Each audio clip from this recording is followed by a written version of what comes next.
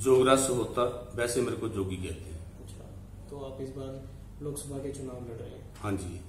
आपका चुनाव चिन्ह? स्कूल बैग है। School bag. तभी आप स्कूल बैग अपने साथ लेकर बैठे हैं? हाँ जी बिल्कुल ताकि मैं अपने निशान को लोगों तक पहुँचा सकूँ। तो इस बार चुनाव में पैर रखने का मन क्यों किया कि राजनीति में कदम रखा जाए? क्या विचार है आपके? विचार तो मेरा मेरे शहीद आज़म सरदार भगत सिंह जी पैदा कर गए हैं। क्योंकि मैं उसी ज़िले का चंपल हूँ। हम्म, मेरे शहर के साथ ही उनका गाँव है। हम्म, तो वो मेरे आदर्श हैं। इसीलिए मैं अपने जीवन में जिस जहाँ से भी चला हूँ जहाँ से भी निकला हूँ यही लेके निकला हूँ कि इनकलाब का मतलब क्रांति लानी है। जिंदाबाद का मतलब जैसे भगत सिंह जी अपनी जिंद आबाद करके गए हैं मेरे भारतवासी भी सभी अपनी जिंद को आबाद करके जहाँ जाते छोड़ के जाए तो इसी बार चुनाव में चुनाव लड़ने का मन क्यों किया? इससे पहले क्यों नहीं? पहले क्योंकि मैं नौकरी करता था मुलाजिम इलेक्शन में आ नहीं सकता जब तक वो रिटायर नहीं होता या तो नौकरी छोड़ेगा या इलेक्शन में आएगा। तो आप रिटायर हो चुके हैं। हाँ जी। तो अब लड़ रहे हैं। हाँ जी। इससे पहले कभी चुनाव लड़े हाँ? जी 2017 में मैंने पंजाब विधानसभा अपने ही हल्का नवा शहर दुआबा से लड़ा है। हम्म, हम्म, तो उसमें आप मैं छहवीं पोजीशन पे था जी वहाँ। तीन कैंडिडेट मेरे पीछे रह गए। पाँच पार्टियाँ मेरे से आगे थी और मैंने कुल खर्चा उस इलेक्शन में पच्चीस हज़ार किया तो इस बार इलेक्शन में कितना खर्चा कर रहे हैं आप? इस बार भी इलेक्शन में ज़्यादा से ज़्यादा ज़्यादा से ज़्यादा जितना हो जाएगा सतारह तारीख तक हिसाब देना है मैंने। ज़्यादा से ज़्यादा पैंतीस चालीस हज़ार हो जाएगा इससे कम। मैंने पेंशन अपने देश सेवा में लगाई है। लोगों का फैसला हो गया तो सिर मत्थे है। नहीं तो सोचूँगा देश सेवा और होगी तो चुनाव प्रचार में आपके साथ साथ आपके साथ कौन कौन है? चुनाव प्रचार में मेरे साथ मेरी पार्टी तो है ही है जिसने मेरे को टिकट दी है हम्म, उसी के नाम पे मैं चल रहा हूँ शहर में बाकी मेरा परिवार मेरे बच्चे मेरे रिश्तेदार मेरे स्टूडेंट मेरे परमात्मा ਦੀ ਕਿਰਪਾ ਦੇ ਨਾਲ ਇਹ ਸਮਾਜ ਸਾਰਾ ਕਿਉਂਕਿ ਮੇਰਾ ਚਰਿੱਤਰ ਹੀ ਹਮੇਸ਼ਾ ਇਸ ਦੇ- ਸ਼ਹਿਰ 'ਚ ਨਿਸ਼ਕਾਮ ਸੇਵਾ ਵਾਲਾ ਰਿਹਾ ਹੈ ਨਿਸ਼ਕਾਮ ਸੇਵਾ ਹੀ ਹੁਣ ਮੈਂ ਕਰਦਾ ਨਿਸ਼ਕਾਮ ਕਿਉਂ ਕਰਾਂਗਾ ਅੱਗੇ तो चुनाव चिन्ह बैग ही क्यों सर इसलिए कि ये मेरा चुनाव चिन्ह बैग 2015 में मेरी भतीजी प्रीति सोहता ने एमसी वार्ड रोहो कौंसिल से, चार नंबर वार्ड से इलेक्शन लड़ा तो उसको ये स्कूल बैग अलाट हुआ। उसके बाद मैंने जब सतारा में कागज़ भरे तो मेरे को भी स्कूल बैग अलाट हो गया। अब मैंने इलेक्शन कमीशन से डिमांड करके, उनको लेटर दे के कि मेरे घर से लोकतंत्र की निचली पौड़ी से ये चला हुआ निशान है, अब ऊपरली पार्लियामेंट तक यही निशान चले, और उनका धन्यवादी हूँ जिन्होंने मेरी, मेरे को ये निशान अलाट कर दिया। इस बार किन मुद्दों को लेकर सर आप चुनाव लड़ रहे हैं? मुद्दे तो मेरे देश में खत्म ही नहीं होते जी। मुद्दे तो इतने हैं कि उनकी हम गिनती करने लगे तो मेरा देश मेरे ख्याल में पूरा दिन ही निकल जाए मेरे को। रोज़गार कहाँ गया है?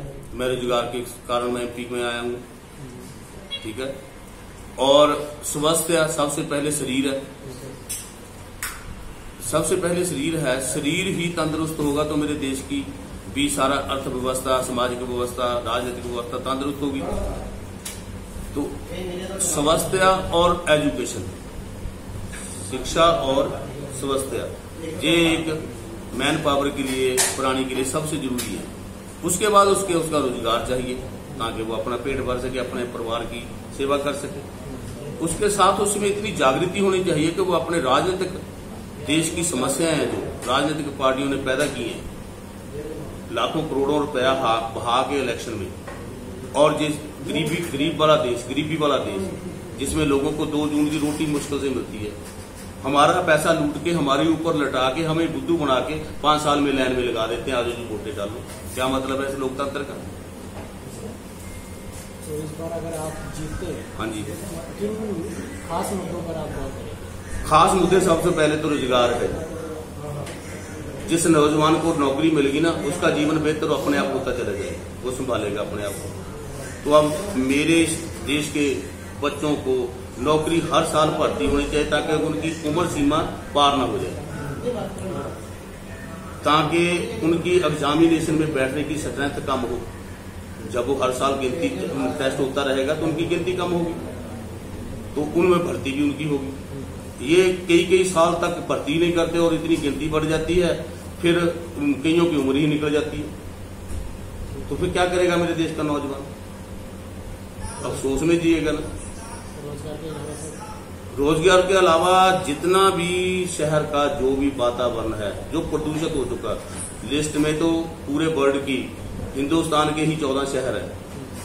चंडीगढ़ तो अभी चलो नहीं आया, लेकिन चंडीगढ़ के लोग बड़े अच्छे हैं, फिर भी ध्यान रखते हैं हरियाली का तो इस प्रदूषण को और धरती को साफ़ करेंगे, पानी को साफ़ करेंगे, तभी तो हम जी सकेंगे। पानी भी खराब कर दिया, हवा भी खराब कर दी, ऊपर से धरती भी खाद वाली बना के रख दी। तो हमारा जीवन तो बीमारियों में डाल दिया।